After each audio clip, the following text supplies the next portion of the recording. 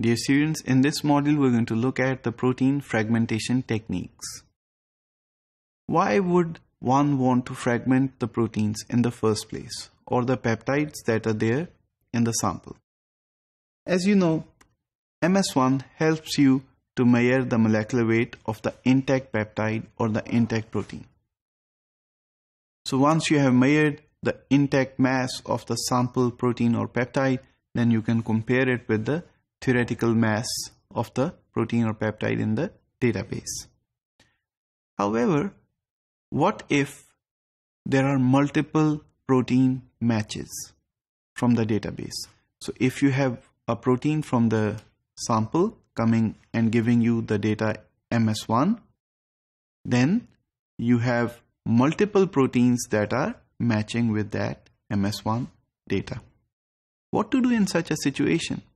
Of course, one step will be to score and rank the proteins in proportion to the difference between the intact mass from MS1 and the intact mass from the database. But still, in some cases, this is not the final solution. In order to further uh, rank the proteins in a more appropriate way, we need to fragment the proteins and obtain the peptides from those proteins. Or in case if you have the precursor molecule, which is a peptide itself, then you need to fragment it to obtain peptides from the intact peptide. So, as I just mentioned, your priority is to find out which protein is there in the sample. And towards finding the, the answer to this question, you cannot simply rely on MS1 data. And in order to further to improve your question's answer, you have to fragment the proteins and obtain the mass spectrum of the peptides of that intact protein as well. Okay, so for fragmenting a protein, one wonders if the protein or the peptide is already within the mass spectrometer's chamber, how can you access it and how can you fragment it?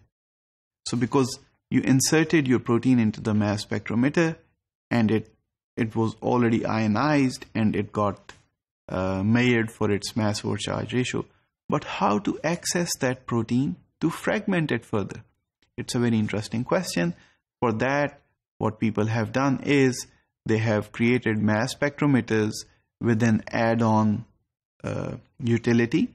So what that instrument does is that it detects the mass over charge ratio of a specific molecule and then allows for its fragmentation as well.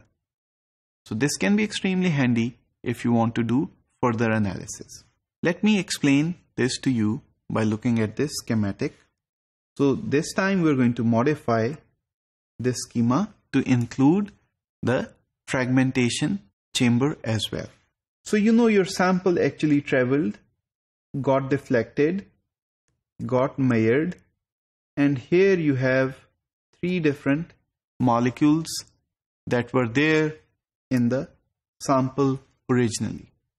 Now, if you have a chamber here, an instrument that actually gets hold of one of the mass over charge ratio that is one specific molecule and then somehow fragment it then you can insert it back into the mass spectrometer and this entire cycle can be repeated. So let me review this again.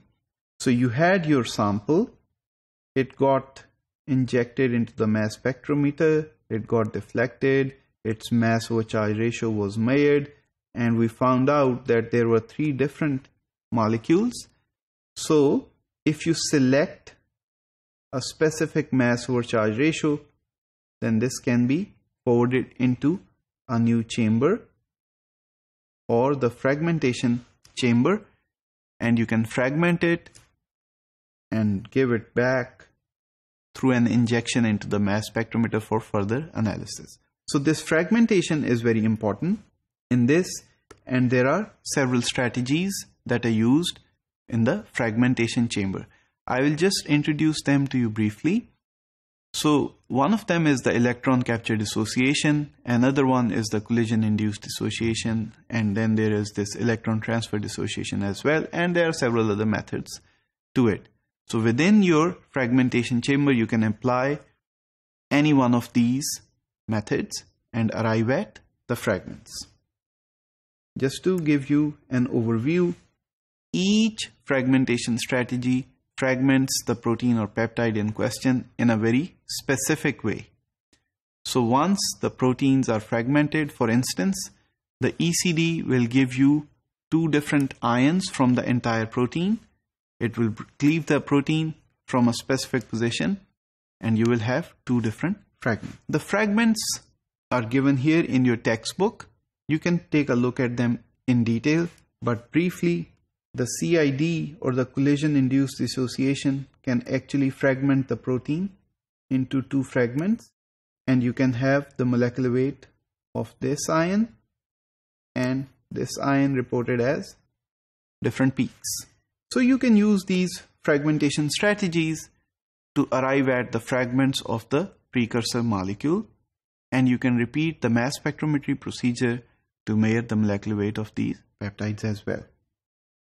And similarly, as you did with MS1, you can have a scoring scheme for these fragments matches from the database as well.